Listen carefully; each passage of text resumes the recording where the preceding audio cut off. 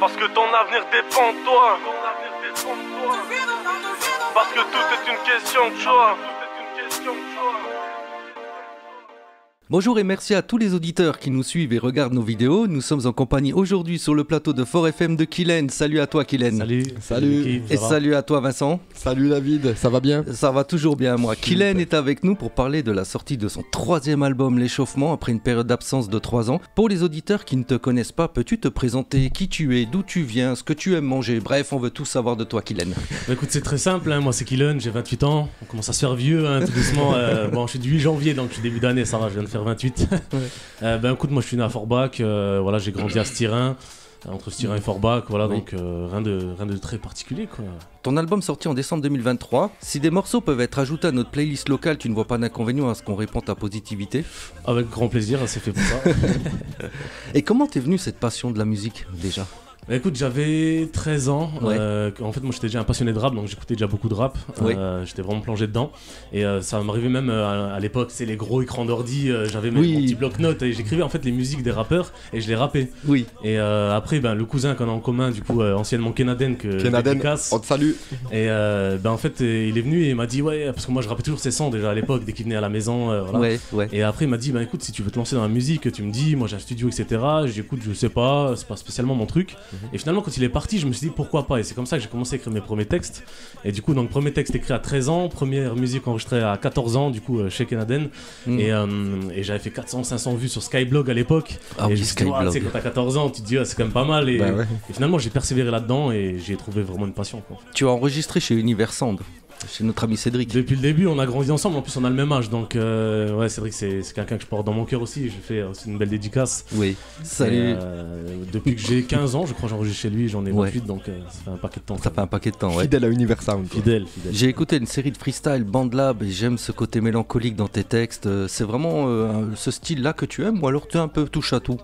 Je suis touche à tout, j'aime bien faire de tout, j'aime bien diversifier. Euh, c'est pour ça que je dis souvent que euh, je suis pas un rappeur, je suis un artiste. Oui. Euh, parce que j'aime bien justement faire un peu de tout et en fait j'écris toujours en fonction de mes émotions au moment même en fait tu vois D'accord. Euh, je trouve une instru et je suis dans un mood plutôt conscient plutôt hardcore plutôt tu vois mélancolique donc je, rappe ma vie et c'est souvent sur internet on voit aussi les gens qui disent oui mais pourquoi il rappe plus comme à l'ancienne? Oui. quand on parle de grands rappeurs connus mais en fait c'est parce qu'il a un style de vie différent et moi j'ai toujours rappé ma vie mon vécu donc voilà je diversifie et Tu retranscris tes émotions dans les textes en fait. ouais c'est ça c'est ça tout ce que j'écris c'est ma vie c'est mon vécu c'est mes conseils c'est ma façon de voir les choses quoi. L'échauffement, donc c'est le troisième album de Kylen qu'on reçoit aujourd'hui sur notre plateau.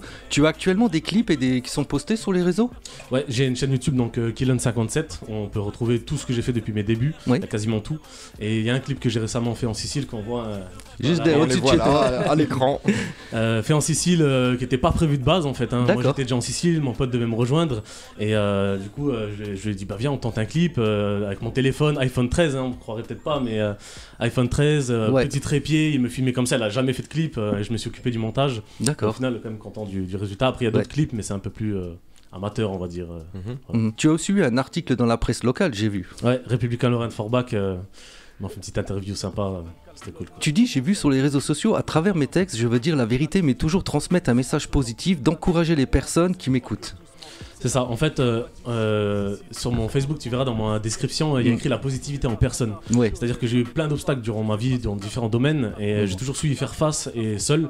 Et au final, en gardant espoir, de le titre aussi du titre euh, du clip en Sicile, Oui. ben, c'est vraiment de transmettre un message de les obstacles font partie de la vie. Il faut comprendre que c'est normal quand on est jeune, on fait peut-être pas attention à ça. Et on est triste aux premiers obstacles et en fait, il faut comprendre que ça fait partie de la vie. Mais se dire toujours que ben voilà, il y a- il y, a toujours un espoir, il y a toujours une solution. Vraiment tourner les gens vers le positif parce que c'est vrai que dans le rap, il y a aussi pas mal de négativité. Donc c'est bien aussi d'encourager les gens à, à les tirer vers le haut, quoi. tout Comme tu dis, ouais, il y a beaucoup de négativité dans le rap Ouais. et justement, toi, tu apportes une touche parce que tu le dis même hein, dans mes textes, vous m'entendrez jamais parler de drogue, de violence, de braquage ou je ne sais quelle autre connerie à la mode, bien sûr. Il y a des textes de rap hardcore où ça va débiter, etc. Mais jamais d'incitation à aller dans le mauvais chemin. Exactement. Bah, moi déjà, j'ai jamais bu, j'ai jamais fumé.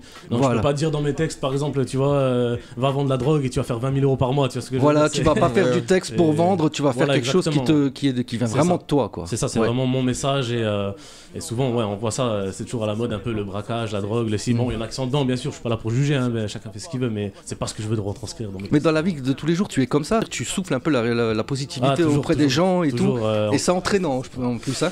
Bah écoute, j'ai des bons retours, on va dire, mais, mais euh, ouais, c'est, je suis comme ça. Je suis, Ouais. je suis- je suis- ce que tu entends dans mes musiques, c'est moi. Quoi, donc C'est ton tempérament, c'est voilà. moi, ouais. Kylian, tout comme nous d'ailleurs chez Fort FM, hein, tu prônes la positive attitude. Ouais. C'est très important de nos jours dans un monde où la négativité est partout, dans les médias, dans la tête des gens. Négativité que l'on retrouve malheureusement dans le discours de beaucoup de jeunes désabusés qui ont perdu espoir alors que la vie a encore tout à leur offrir. C'est important de rappeler qu'il reste de belles choses sur cette terre. Pour nos auditeurs qui ne te connaîtraient pas et qui ont envie de découvrir ton univers musical, peux-tu nous dire quels sont tes thèmes de prédilection au niveau de l'écriture? Bah, euh, encore une fois, on va rester sur la positivité. Ouais. Euh, c'est principalement ça. Euh, après, dans les textes mélancoliques, je sais que les gens aussi se, euh, s'identifient. Voilà, ils se voient dans mes textes. Donc, c'est pour leur faire comprendre que c'est pas parce que dans certains sons, tu vois que je suis ultra positif, que je n'ai j'ai pas de cœur, que j'ai pas de sentiments, etc. Mhm. Donc, euh, on va dire l'écriture. Encore une fois, c'est c'est vraiment en fonction de ce que je trouve euh, comme instrumental. Et euh, je pars sur, euh, bah, là, voilà, j'ai envie d'écrire. Ou des fois, ça m'arrive aussi d'être triste de temps en temps. Donc, je me dis, euh, voilà, une petite musique, faut que tu vois que j'extériorise ce que, ce que Bien je pense. Et, euh, et comme tu dis, il y a beaucoup de négativité. En fait, c'est parce que quand on regarde aujourd'hui, les médias sont beaucoup mis en avant et c'est vrai que euh, la négativité fait vendre. Mhm. Euh, c'est ce qu'on peut un peu voir. Et donc, du coup, c'est bien effectivement de rappeler qu'il y a beaucoup de positivité quand même, qu'il y a des belles choses qui se passent. Et euh, je sais que le rap, on se rappelle, il y a 10 ans, euh, c'était pas autant bien vu entre guillemets qu'aujourd'hui. Euh, je me souviens de l'époque et aujourd'hui. Oh, il y a bah, même 20-30 ans, nous on était des rappeurs des années 90. hein. Ouais. On a eu notre premier article dans le Républicain Lorrain en 94, il n'y avait pas Ah oui. d'internet. j'étais j'étais pas né encore, tu vois. Eh ben oui, là, ah oui, là, le rap avait mauvaise réputation parce qu'on parlait d'NTM, on parlait aussi de leur déboire judiciaire qui était bon, euh, voilà, soft Mm. quand même, c'était pas terrible, terrible. hein. Mais euh, voilà, je veux dire, c'était déjà euh, mal vu, mais ça représentait bien les jeunes des quartiers, alors que voilà, au contraire, il y avait, euh, il y a de la richesse partout dans, dans, dans tout, dans tout, toute caste, je dirais, qui pourrait aimer le rap et faire du rap. Je pense que même le fils à papa qui ferait du rap pourrait faire un texte qui, Ouais, qui bah nous apprendrait Mm. quelque chose à nous, avec peut-être des mots, une richesse euh, autre que ce qu'on entend nous d'habitude, mais qui ont leur style à eux. hein. C'est exactement ça. Mm. Et d'ailleurs, euh, j'en parlais hier sur un live euh, sur TikTok justement où quelqu'un me disait mais qu'est-ce qu'on peut faire euh, pour vraiment se faire connaître co- Quel type de musique, de texte qu'on peut faire? Mm. Mais en fait, le but c'est de rester toi-même. C'est les gens ils te suivent pour toi, ils te suivent pas pour bah, voilà pour pour que tu ressembles à tout le monde. Donc effectivement, n'importe qui peut Mm. faire du rap. À partir du moment où bien sûr la passion est là, mais Donc toi, tu l'avais déjà de, de précédents albums. Le troisième là qui vient de sortir, comment tu définirais en fait le style sur l'écriture et la compo de cet album-là, sachant que tu as fait une pause pendant trois ans J'ai fait une pause, d'où le titre, Ouais. l'échauffement. Peut-être Ouais. qu'on fait pas attention, mais euh, moi je suis un footballeur aussi, donc Ouais. voilà. Euh, l'échauffement, ben ça veut dire que euh, pour l'instant vous avez cru que j'avais arrêté le rap ou vous avez cru que je me suis donné à fond? Non, en fait c'est non, là il y a début. que l'échauffement. et, euh, et je vais pas spoiler le titre du prochain album, mais je peux donner un indice, c'est que Oui. l'échauffement il y a une prochaine étape au foot. Bah. Voilà. donc Ah, euh, voilà, je vais pas en dire plus, mais, euh, euh, c'est l'échauffement. D'accord. Quelles sont toi tes principales inspirations musicales, les artistes peut-être que tu as écoutés dans ta jeunesse? Qui ont fait ce que tu es aujourd'hui On va dire que mon écriture ne dépend pas des rappeurs que j'écoute. Par Ouais. contre, c'est vrai que euh, j'ai des similitudes, par exemple, avec Ice MC, euh, que peut-être vous connaissez pas trop trop, Ah si, mais si. euh, ouais, Euh, Ice quelqu'un que j'aime beaucoup, c'est un des, des rappeurs que vraiment que je suis vraiment, à qui j'aimerais vraiment faire une musique un jour. Un des rappeurs les plus techniques voilà. français en fait. Hein. C'est clair qu'il a un flow incroyable. C'est ça, il a vraiment un bon flow, il a une belle écriture. C'est vrai que souvent on se dit ouais, c'est un rap hardcore, mais il a une très belle écriture et elle est compliquée à écrire. Mhm. Et c'est là qu'il y a le côté artistique que moi j'aime bien. Et quand on écoute mes textes qui sont un peu plus, on va dire, drill, un peu plus hardcore, où ça débite, parce que j'aime bien débiter aussi, Ouais. et ben j'ai euh, j'ai des similitudes avec SLMC euh, sur certains flows. Et quand j'étais plus jeune, on me disait euh, le SLMC de Styrin, le La Forbach, 5-7. la, la on m'avait dit. donc euh, c'est un rappeur que j'aime beaucoup. Après, euh, j'écoute un peu de tout au niveau rap. Il y a le GLK, Mhm. il y a aussi Fianso que j'aime bien. Mhm. Et j'écoute même un peu de rap euh, du style Duratadora, c'est une, une albanaise allemande. Ouais. Euh, j'écoute Luciano, c'est un rappeur allemand. Et euh, Sfera et Basta, c'est un rappeur italien. Kylian, on rappelle que tu as trois albums à ton actif. Est-ce que tu as senti une évolution entre ces différents, différents albums? Est-ce que ta façon de travailler a changé? Alors, euh, on va dire que la façon de travailler n'a pas changé parce que, encore une fois, je, re- je reste toujours moi-même dans mes textes. Euh, forcément, l'évolution, on la ressent parce que mon premier texte, euh, mon premier album, j'avais euh, 17 ans, il me semble, euh, qui s'appelait Parole de jeune. Et euh, le deuxième, j'avais 19 ans, c'était Invulnérable. Donc euh, voilà, aujourd'hui, je sors un album, j'ai 28 ans, forcément, le vécu est différent. euh, Ouais. On a évolué euh, sur plein de maturité. points, maturité, euh, on aura plus la même chose, hein, forcément. Oui. Mais euh, toujours la, la même valeur, c'est-à-dire ben, retranscrire ce que je vis. quoi. Ouais, exact. Mais je trouve ça toujours intéressant chez un artiste de voir l'évolution, c'est-à-dire de voir même euh, au commencement comment comment euh, il, euh, enfin comment il faisait de la musique, comment il retranscrivait. Les textes et euh, la musicalité et de voir au fur et à mesure comment ça évolue. C'est très très intéressant. Donc j'invite les auditeurs euh, à aller euh, checker un petit peu toute la carrière euh, de Kylen. D'ailleurs, où peut-on te trouver sur internet et quelles sont les plateformes sur lesquelles ton album est disponible? Alors, euh, mon, mon album, déjà, il est disponible sur toutes les plateformes, donc Spotify, Amazon Mm. Music, iTunes, etc. Tout ce qu'on peut connaître. Il est également disponible sur ma chaîne YouTube, donc Killen57. Euh, j'ai également euh, un TikTok rap que j'ai créé euh, il y a pas, pas si longtemps que ça. Oui, Où justement, j'ai remis toutes les anciennes vidéos euh, de l'époque pour justement que les gens voient l'évolution. C'est ça qui est bien. Souvent, les gens suppriment les anciennes vidéos. Moi, justement, je vais les laisser pour qu'on voit l'évolution. Donc, euh, c'est arrobas Killen rap euh, sur TikTok, euh, Killen57, et j'ai aussi une page Facebook euh, Killen57. euh, De toute façon, tous tout liens seront en description dans la vidéo. Yes. Ouais. Euh, L'album existe donc en version physique et oui, ça existe encore et ça fait toujours plaisir d'avoir un album Ouais. palpable Là. entre les mains. Regardez Là. comme il est content d'être Regardez. Ah, moi je suis amateur de vinyle, alors tu sais, il me faut Ouais. que je. il faut du physique. Ouais, tu sais que j'ai un vice, c'est- enfin un vice, non, c'est que quand j'achète un vinyle, je suis obligé de l'ouvrir et de le et sentir. de sentir. Ah ouais. Je sens tous mes vinyles quand je les ouvre la première fois, donc j'ai dû le faire 400 fois. Moi, je tu fais ça vois. avec le camembert. On peut aussi, oui. Mais c'est vraiment ce- ce- ce- ce- ouais, cette, euh, cette passion de le toucher le, physiquement, l'œuvre. euh, et ouais, c'est. Bah, tu vois, c'est d'ailleurs pour ça que je l'ai fait en physique. euh, Ouais. C'est pour, euh, tu vois, euh, ne pas oublier l'ancienne époque qu'on a connue, même si je suis un 96, je suis pas Ouais, très ouais, ancien, ouais. mais, mais c'est vrai que le physique c'est bien. Alors le prochain album sera sûrement pas en physique, Mhm. mais, euh, mais je trouve que c'est bien d'avoir l'album physique, c'est quand même Oui, parce que celui-là, il va Donc rester nous, on- dans le temps. Nous, on a eu de la chance, euh, on a eu de la chance, tu nous l'as ramené en main propre. Mais euh, pour les auditeurs euh, qui aimeraient se le procurer, où peuvent-ils se le procurer Ouais, alors pour ceux qui seuls, euh, souhaitent prendre mon album, faut directement venir chez moi. Pour ceux qui sont du secteur, hein, de Forbach, euh, voilà, vous me contactez, moi je les ai, on, peut, on se voit et y a pas de souci. Envoyez-moi un message, un message sur Facebook directement.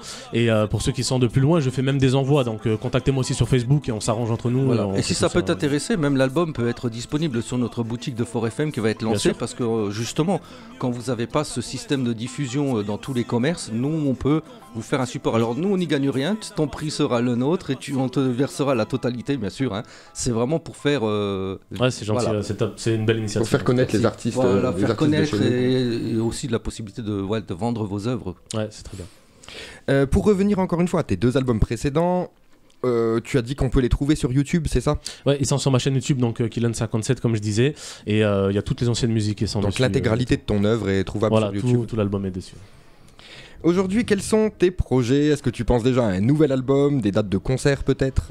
Alors, date de concert, non. Il y en a quelques-unes que- qui sont potentiellement prévues. Euh, J'aurais dû faire d'ailleurs la première partie de Le Raluciano à Kreuzwald. Malheureusement, j'étais en Sicile à ce moment-là, donc Ah, je n'ai pas pu le faire. Ouais. Mais il y en a d'autres qui vont arriver. Je suis en train de discuter avec certaines personnes. Euh, et concernant mes projets, ben, on va pas changer. On va rester sur un prochain album. Et, euh, et voilà. Donc, Cédric, si tu m'entends, euh, je t'appelle bientôt. Voilà, fais chauffer le micro. voilà, j'arrive, t'inquiète pas. On va faire, je vais aller enregistrer 8 heures de, de studio direct. Oui. euh, voilà. N'hésite pas à nous faire savoir quand tu as des dates de concert, nous on le relayera sur les réseaux. Ou avec même des dates d'enregistrement, on peut venir faire euh, une petite vidéo sur toi Ouais, pendant que tu enregistres ton album, ce sera avec plaisir. Avec plaisir. Comment te vois-tu dans 10 ans? Ça, c'est toujours une bonne question, ça. Euh, en vrai, euh, ça va au-delà de la musique, je vais dire, parce que euh, dans 10 ans, je me vois être connu, mais par ma personne, par ma personnalité, tu vois. Ouais. Et, et le fait d'être connu par sa personnalité, ça permet d'ouvrir des portes comme la musique, par exemple, ou d'autres choses, d'autres passions que j'ai à côté. Donc, en vrai, je pense que personnellement, je serai connu, entre guillemets, d'ici 10 ans. Après, par rapport à la musique, ben, forcément, je mettrai la musique en avant, je vais pouvoir faire des bons clips, faire des, des bons featuring. Euh, je pense qu'il y a vraiment de belles belles choses qui arrivent. Je vais pas être trop euh, voilà, mais euh, je reste positif. euh, bien En tout sûr. cas, on te souhaite de mener à bien tes projets. merci, c'est gentil. Tous les réseaux sociaux de Kylen s'affichent à l'écran. Pour ceux qui regarderont cette vidéo, celui qui veut connaître Kylen, il a juste à passer par chez nous, il trouvera tout.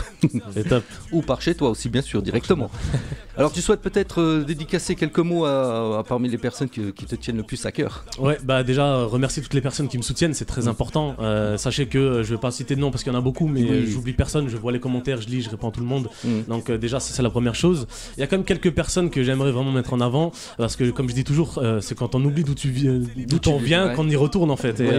Et, pour ça, je remercie Abdou Barbar. Je sais pas si vous connaissez, mais Non. euh, c'est un grand de Styrin. oui. Et quand j'étais jeune, il m'a souvent soutenu. euh, Souvent le week-end, il se déplaçait, il me filmait pour mes freestyles, etc. Donc c'est un des seuls qui était vraiment proche de moi à cette époque-là. Il a une entité Euh, ou il a fait juste comme ça de par Juste amitié comme ça, par, Ah, par d'accord. amitié, voilà. Donc Sinon on l'aurait bien invité, mais bon. Abdou Barbar, donc dédicace, il, il s'y attendra pas.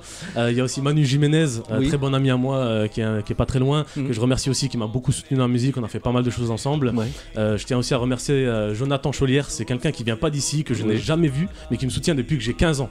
Donc C'est vraiment euh, énorme et il m'a acheté tous mes albums, donc c'est important de le souligner. C'est un Et, fan. euh, voilà, c'est un fan et c'est important d'avoir des gens comme ça et quand on, sûr. quand on sera connu, parce que c'est pas si on sera, c'est quand on sera connu, euh, qu'on n'oubliera pas ces personnes et qu'on les remerciera aussi, c'est important. D'accord. Kylian, merci en tout cas d'être venu sur le plateau de 4FM pour parler de ta musique et de ta positivité. Parce que là, Merci je sais pas vous. pourquoi, moi je me sens, je me sens mieux. Moi. Ah, Ouais, c'est- mieux c'est le qu'au but, début. ça, Ah c'est ouais. le but. Ah, je suis détendu. Et surtout, n'hésitez pas à partager et liker la vidéo. Tous les liens sociaux d'écoute sont disponibles en fin de vidéo. Merci encore à toi, Kylian, et à toi, Vincent. Merci à vous. À très vite sur 4FM. Ciao. Ciao.